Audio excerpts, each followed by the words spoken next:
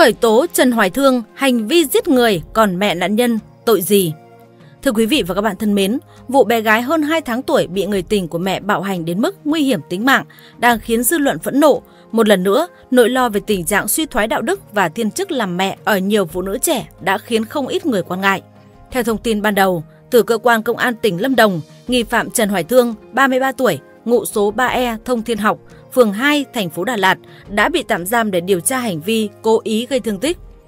Thương là kẻ trực tiếp hành hung cháu NNTC, sinh ngày 25 tháng 2 năm 2023, khiến cháu bị đa chấn thương nội sọ, gãy xương cẳng tay, gãy xương đùi, gãy xương cẳng chân, suy thận cấp, suy gan. Kẻ thủ ác đang phải đối diện với cơ quan điều tra và sớm muộn cũng sẽ phải trả giá cho những hành vi vô nhân tính của mình. Nhưng điều động lại sau vụ việc khiến dư luận băn khoăn chính là câu hỏi về trách nhiệm và tình thương của mẹ đẻ cháu bé. Nhiều người tỏ ra bức xúc khi biết mặc dù có mặt tại nhà trọ, chứng kiến việc con gái bị bạo hành, nhưng Nguyễn Hồng Phúc Ân không ngăn cản người tình và bản thân người được gọi là mẹ cũng dương tính với ma túy. Trước vụ việc này 4 ngày, một bà mẹ trẻ khác làm nhân viên quán karaoke ở Bến Cát, Bình Dương cũng vì say xỉn, khó chịu khi nghe con trai hơn một tuổi khóc mà đã dùng tay đánh con tới tấp rồi lăn ra ngủ. Khi phát hiện bé tím tái đưa đến bệnh viện, thì bé được xác định đã tử vong trước đó không lâu. Tiếp tục lần dò lại các vụ án bạo hành trẻ em xảy ra trong 3 năm gần đây trên cả nước. Thấy càng lúc mức độ nhẫn tâm, độc ác của các hành vi bạo hành càng có xu hướng tăng lên. Trong khi độ tuổi bị bạo hành đang nhỏ lại, đáng buồn hơn, khác với giai đoạn trước, người bạo hành trẻ thường là các đối tượng giao tiếp bên ngoài gia đình như hàng xóm, người quen của bố mẹ, Giờ đây, trẻ bị chính bố mẹ ông bà hay người chung sống với họ hành hạ. Trong đó, các vụ thương tâm nghiêm trọng nhất thường liên quan đến người mẹ. Thời đại 4.0, vị thế của người phụ nữ trong xã hội được nâng cao, bình đẳng giới được chú trọng, thì lẽ ra mỗi gia đình sẽ phải hạnh phúc hơn, trẻ em được quan tâm giáo dục và giáo dục tốt hơn. Nhưng đằng này, nhiều gia đình tan vỡ hơn, tình trạng bạo hành trẻ em ngay tại nhà lại xảy ra mỗi lúc một nhiều hơn. Cho đến lúc này, vẫn chưa có một nghiên cứu xã hội học dài hơi nào về nạn bạo hành trẻ em trong gia đình có nguyên nhân từ người mẹ. Dư luận chỉ quy kết nguyên nhân chung nhất là do lối sống đề cao quyền tự do cá nhân, nhận thức sai ý nghĩa bình đẳng giới, dẫn đến thói ích kỷ, vô trách nhiệm ở nhiều người phụ nữ ở trong độ tuổi lập gia đình.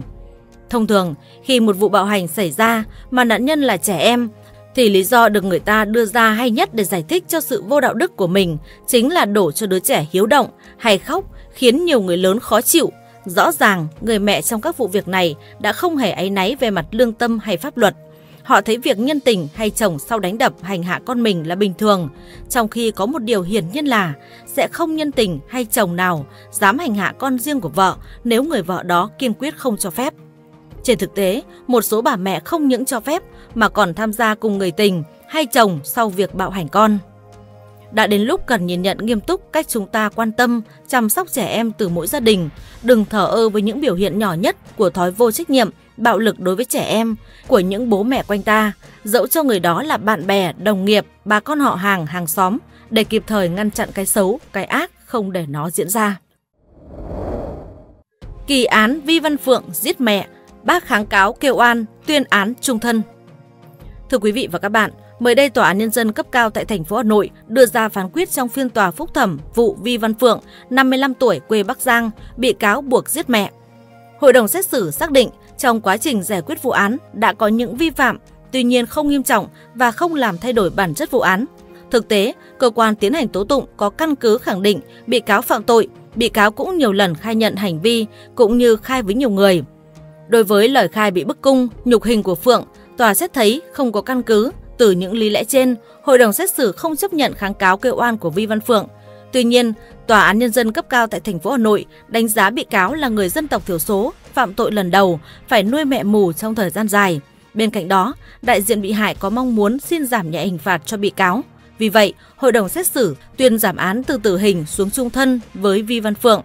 Trước đó, đại diện Viện Kiểm sát Nhân dân cấp cao tại thành phố Hà Nội đề nghị hội đồng xét xử tuyên hủy án sơ thẩm tử hình để điều tra lại vụ án vì còn nhiều mâu thuẫn chưa được làm rõ.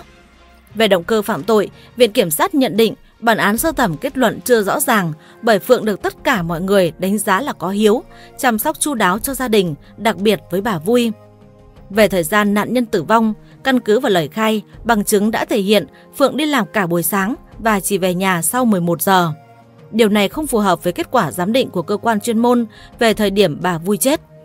Cơ quan công tố cho rằng cơ quan tố tụng cấp sơ thẩm lần 2 chưa làm rõ 7 yêu cầu của Hội đồng thẩm phán Tòa Nhân dân tối cao trong quyết định giám đốc thẩm năm 2016. Theo bản án sơ thẩm, năm 2009, Phượng vay bà Vui đôi bông tai 1,5 chỉ vàng để lo cho con trai và vợ đi xuất khẩu lao động. Sau nhiều lần bị mẹ thúc giục trả lại vàng, ngày 2 tháng 10 năm 2012, Phượng ra tiệm vàng mua một đôi bông tai 1,5 chỉ rồi đưa con trai trả nợ cho bà Vui.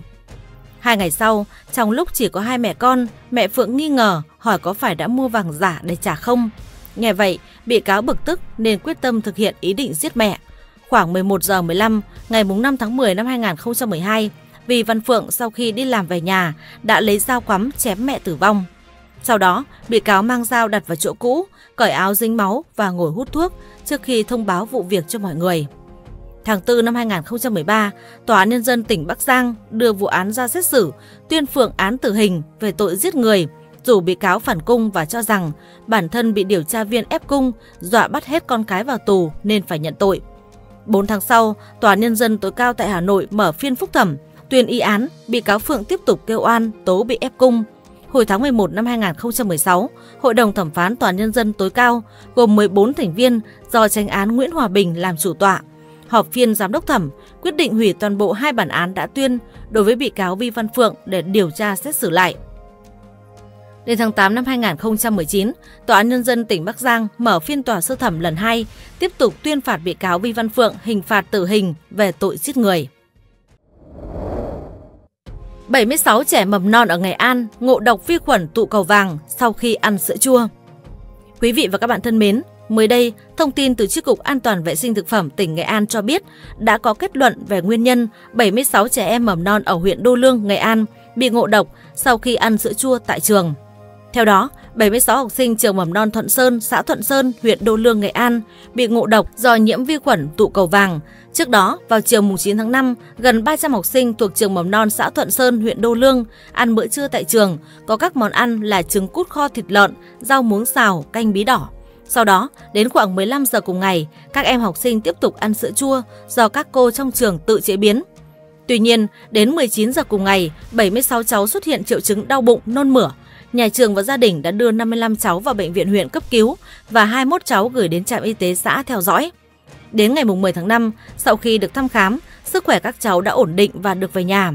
Sau khi sự việc xảy ra, cơ quan chức năng tỉnh Nghệ An đã kịp thời có mặt động viên, thăm hỏi, chỉ đạo chăm sóc điều trị các học sinh bị ngộ độc và lấy mẫu thực phẩm liên quan gửi đi xét nghiệm.